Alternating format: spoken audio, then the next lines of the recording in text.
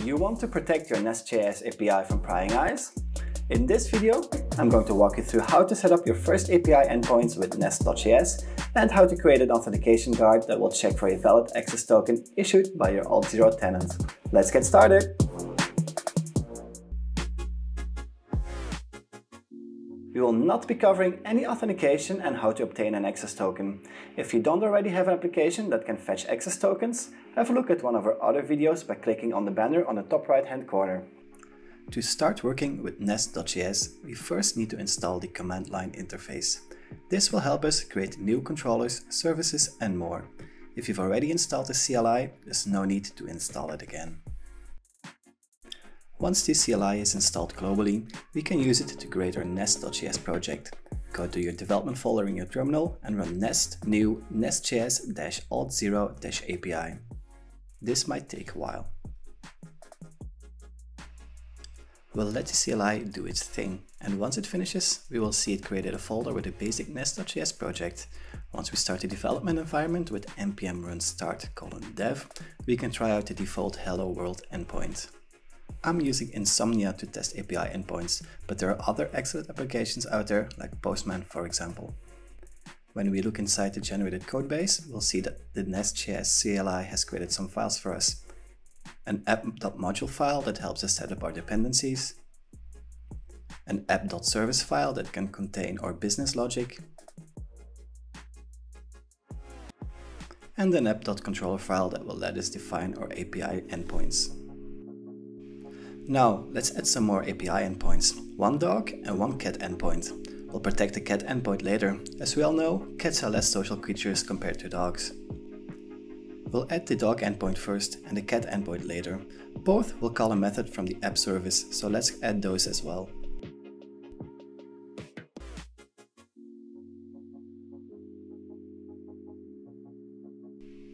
You'll see we now have a dog and a cat API endpoint available, and both will return the message from their service method. Now let's generate a new authorization module and a new authorization guard. The guard will help us protect certain endpoints for which we'll need a valid access token issued by your Auth0 tenant. Let's first stop our development server for a second and use the Nest CLI to generate a new module. We'll run nest generate module authorization with the no spec flag because we don't want to generate tests for this demo. This will generate a new authorization module and import it into the main application module. Let's do the same, but instead of a module, we'll generate a new authorization guard. Lastly, let's install some npm dependencies that we'll use later on in this demo and restart our development server with npm run start colon dev.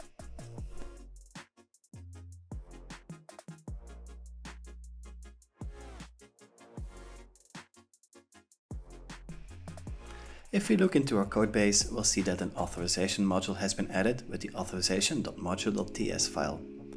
An authorization guard has also been added. Let's move the guard to the authorization folder.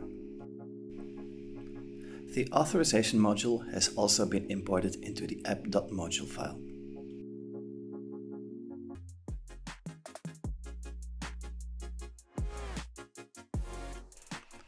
In the authorization guard file, we'll see some default code.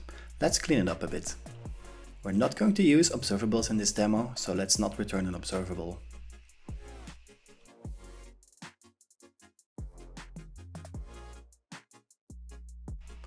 Now that we've cleaned up the default guard, we can start adding the logic for the authorization guard.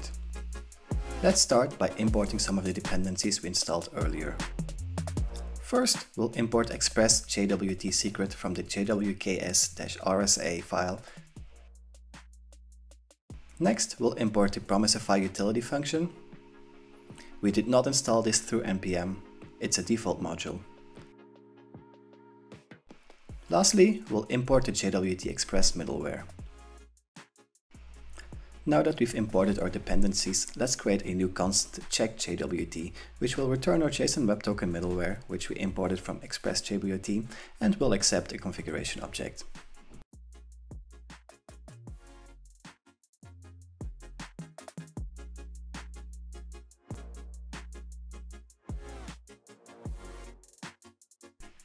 Some details about the secret,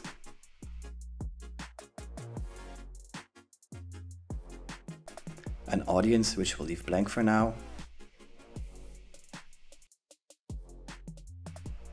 an issuer which we'll also leave blank for now, and the algorithms which we are going to use.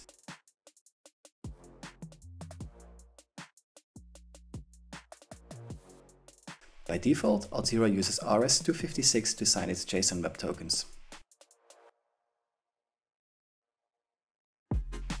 Here we'll use the Express JWT secrets library which we've imported from npm, which will also accept a bit of config.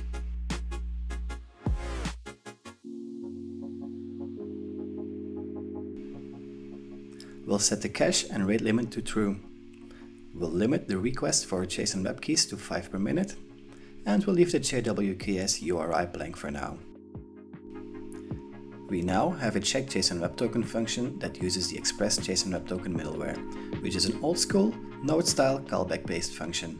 So let's convert it to a function that returns a promise with the Promisify utility function.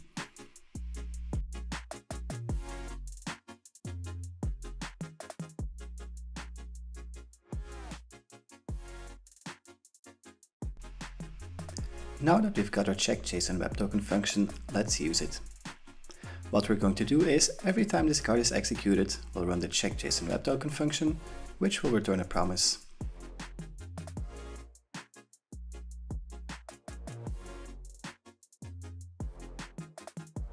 This means we can await the check JSON web token function.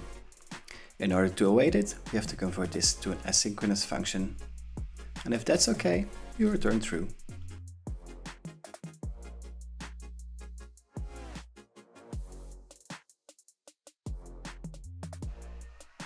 If it's not okay, we will throw an unauthorized exception, which is a default Nest.js exception, which will return a 401 unauthorized status to our API endpoint and will pass along the error.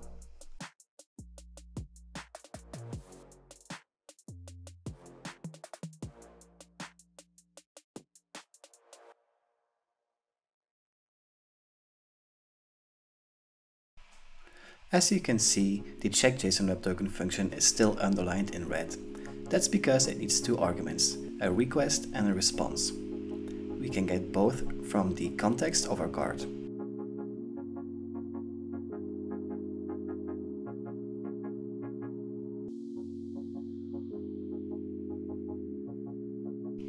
So let's create a request variable and call context.getArgumentsByIndex and the first one is going to be our request.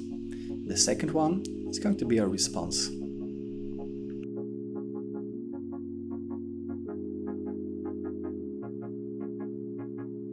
Once we've got this variable, we can pass them to the check.json web token function.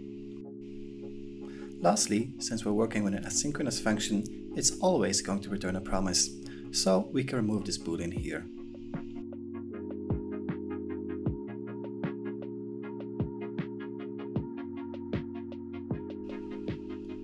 Let's use the Auth0 command line interface to create a new API for our Auth0 tenant.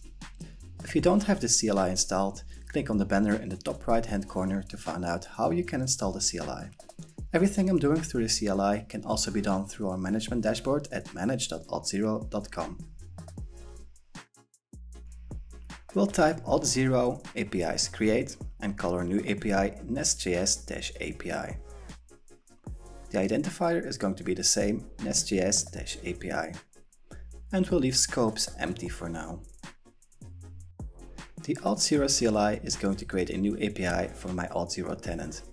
As you can see, we've got our identifier available together with my Auth0 tenant sambego.au.auth0.com. Now that we've created our API for our Auth0 tenant, Let's use it to do the actual authorization for our API endpoints. We'll create a new file and call it .env, in which we'll add some Auth0 configuration variables. We'll add the Auth0 audience, which is the identifier for our API we entered through the Auth0 CLI, and our Auth0 domain, which is my tenant's domain.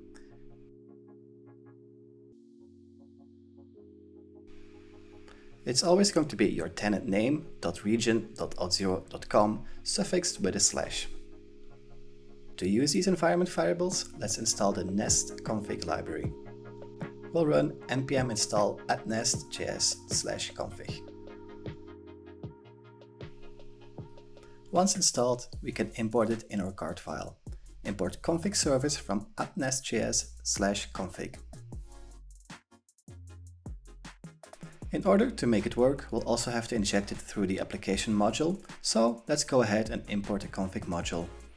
After that, we can add config module.forRoot in the import array, which will allow us to inject the configuration into our authorization guard.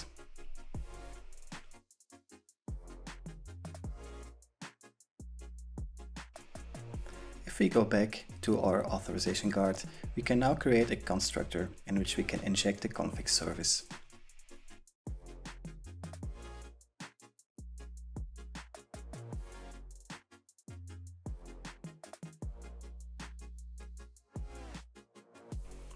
We'll then create a private auth0 audience and auth0 domain, which will populate in our construction function with the configuration data from our .env file.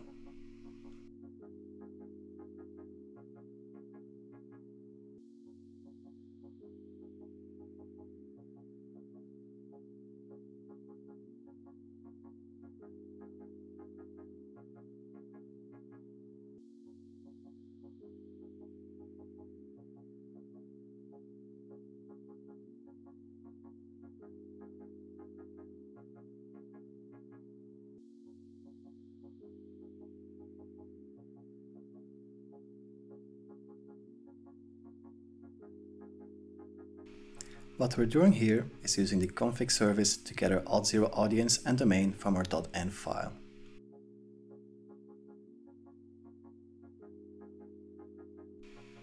We can now use the auth0 audience and domain to configure our Express JSON Web Token middleware.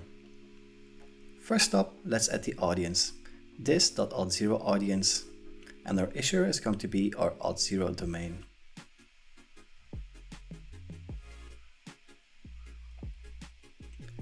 Lastly, our JSON Web Keys URI is going to be exposed by auth0. It is always going to be under the .wellknown slash jwks JSON URL.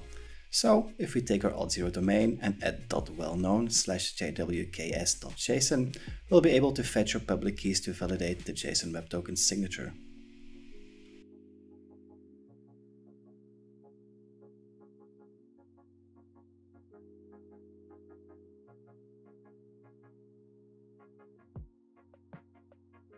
If we open Insomnia again, we can still use our dog endpoint, which works fine without an access token because we did not add the authorization guard to it. But if we ping the cat endpoint, we get a 401 unauthorized because we did add the authorization guard to this endpoint. So now it's requiring us to pass along a valid access token along with each request. If we take the same API endpoint slash cat, but then append the bearer token, which will add an authorization header to each request with the access token as a bearer token, and we pass along a valid access token generated by our auth0 tenant, we should get a 200 successful response.